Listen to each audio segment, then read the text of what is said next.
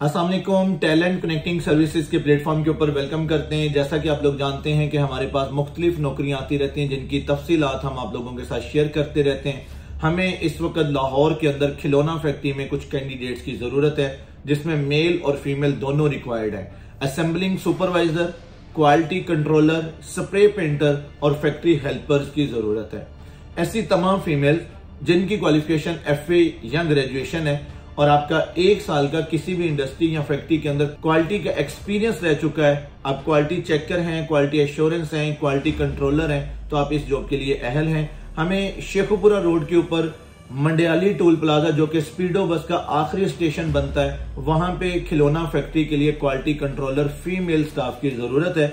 एक साल के एक्सपीरियंस के साथ आपको जो सैलरी पैकेज ऑफ़र किया जाएगा, वो बीस हज़ार से पच्चीस हज़ार रुपए के दरमियान होगा। आठ बजे से पाँच बजे तक आपकी ड्यूटी होती है। मंडियाली स्टाफ खिलौना फैक्ट्री के अंदर आप as a female quality controller job को ज्वाइन कर सकती हैं। इसी तरह assembling supervisor DI electrical DI mechanical या एफए और बीए के साथ कम अज कम आपका एक से दो साल का असेंबलिंग असेंबलिंग का अगर एक्सपीरियंस आपके पास मौजूद है तो आप इस इंडस्ट्री में खिलौना फैक्ट्री के अंदर असेंबलिंग सुपरवाइजर की जॉब को ज्वाइन कर सकते हैं।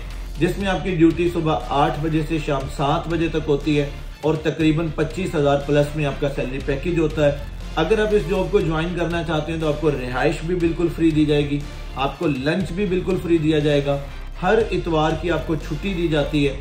और अगर आप मुकामी हैं, यानी मंडियाली स्टाफ के बिल्कुल करीब रहने वाले हैं, शेखुपुरा रोड के ऊपर रहने वाले हैं तो आप इसको अपने घर से भी ज्वाइन कर सकते हैं।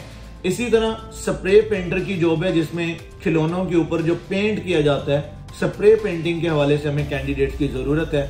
इसमें तालीम नहीं चाहिए, लेकिन तजर्बा कम अज कम दो से तीन साल का होना चाहिए। आपको भी रिहाइश प्रोवाइड की जाएगी, आपको भी दोपहर का खाना दिया जाएगा और स्प्रे पेंटर का पैकेज चौबीस हज़ार, पच्चीस हज़ार के दरमियान होता है।